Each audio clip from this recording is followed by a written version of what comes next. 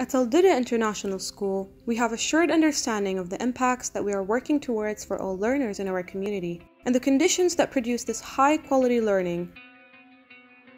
For us, learning is a continuous process that empowers learners to be responsible leaders who are independent, curious, and knowledgeable global citizens through the support and challenge of a loving and diverse culture. In order to understand and live this definition in our school, we have broken it down into three parts.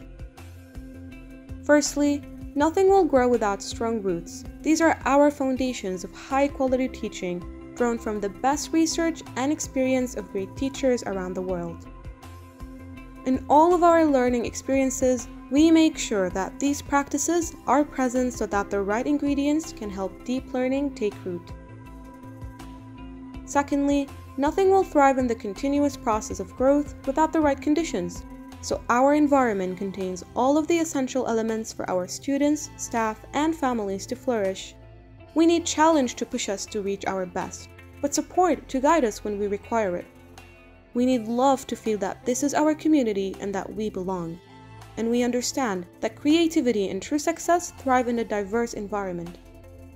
Lastly, we know that our impacts will develop as a result of the right conditions and our strong roots, but they also guide what we do today. As our core values, they guide our decisions and our interactions as a community. We treat each other with respect. We seize responsibility for action and leadership, and empower others to have a positive impact in others and on our world. We look at our local community as well as our global context with empathic as well as critical perspectives in order to help improve them for the future. And most importantly, we value and love learning as the fuel for our continuous growth as individuals and as a community. You can find out more about our school, our values, and our impacts by exploring our website on social media or come in and speak to us.